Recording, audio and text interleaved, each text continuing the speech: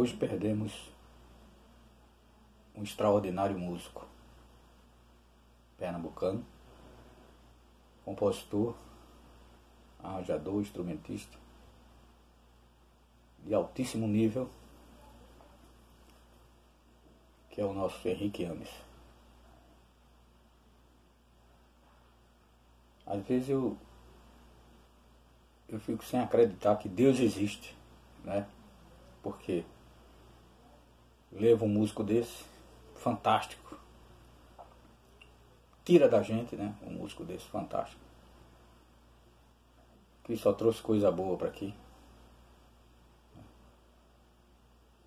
E deixa essas desgraças que estão aí fazendo miséria com o país. Feito filho da puta desse Bolsonaro. Que dizem que é presidente. Não é. Isso é um canalha. Entendeu? É um vagabundo, filho da puta, nojento. É o que ele é. Apoiado por uma banda podre safada do exército. É isso aí. Às vezes eu não acredito que exista nada nem inferno, porque o inferno é aqui, onde a gente está.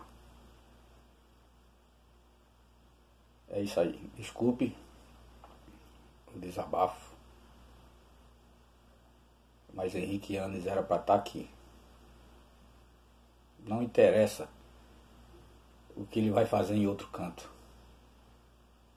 E se existe outro canto. Ninguém sabe. E se esse nome Deus é inventado pela igreja. Entendeu? É isso aí.